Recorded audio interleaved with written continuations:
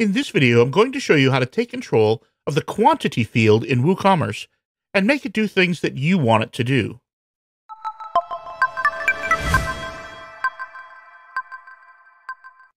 The field I'm talking about is right here next to the Add Cart button, and it allows customers to say how many of this item they want. By default, they can put in anything they want, which can get unmanageable. So the first thing we're going to look at is how to remove it altogether, which will limit the customer to a, a single item.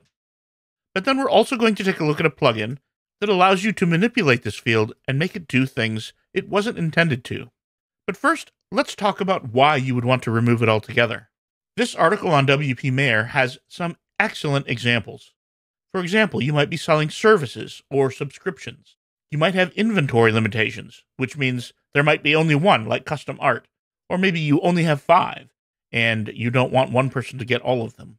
There could be many reasons you might want to limit your customer to buying a single item. So let's take a look at how to make that happen first. The first method I'm going to show you is simply editing this product, and then go to the product data box, and under inventory, choose sold individually, limit purchases to one item per order. So we'll update and I'll reload. And now it's simply gone. Now it still has one in there, so WooCommerce knows that you want to buy one, but the customer can't change that.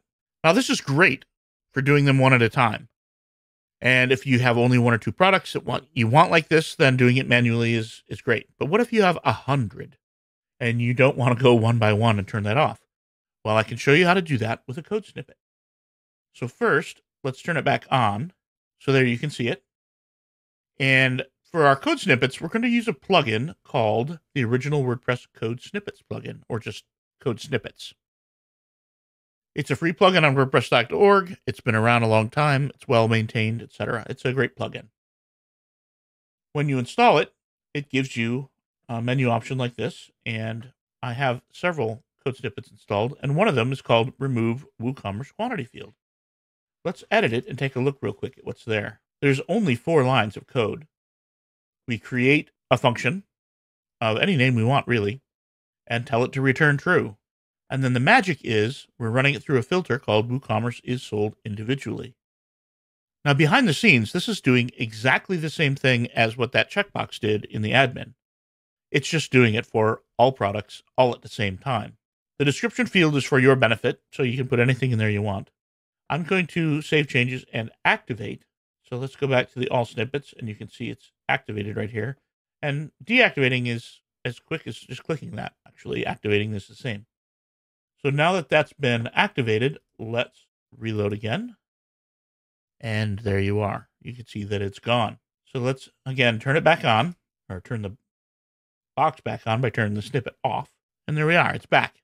But what if you want something more? What if you want to control what it does as opposed to simply remove it and limit to one?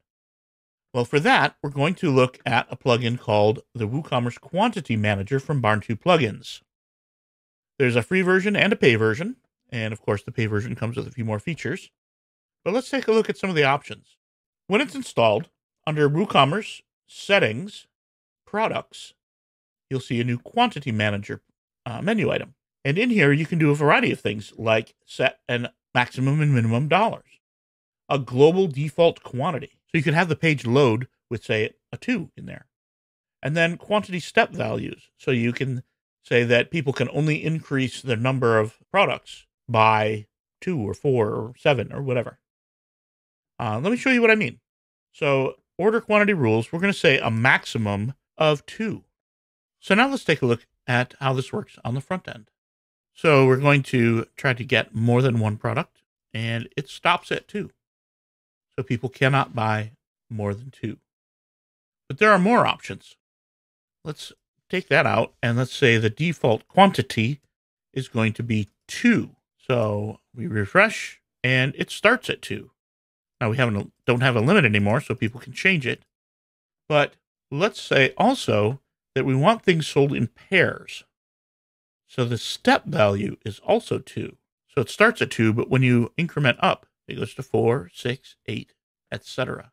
Now, in addition to these global settings in the WooCommerce settings area for quantity rules, you can also set them a little more fine grained. For example, this is the categories page for products. And when you're creating a new category, you can set quantity rules for all products within a category. And if you're editing an existing category, that same UI is here also. So you can set a finer grained quantity settings and optionally override global settings. You can additionally set things like this on individual products. So this is the blue dress that we've been working on. And under inventory, you can see that you can set quantity rules for individual products. And then, even more fine grained, if you have a variable product, and then click variations, let's take a look at small. So um, here they are right here. So let's say you have uh, fewer small size dresses than all the others. You could set a maximum number for just smalls. So as you can see, this plugin from Barn2 is really flexible and can do a wide variety of things. So let's review what we talked about real quick. First of all, we talked about getting rid of this field altogether, and that limits the purchaser to one. And we looked at two different ways to do that.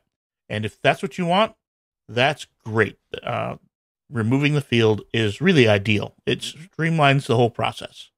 However, if you need more flexibility and you need to be able to do any number of things with this field, either per product or per variation or per category or even just global settings, then the WooCommerce Quantity Manager from Barn2 is a great option.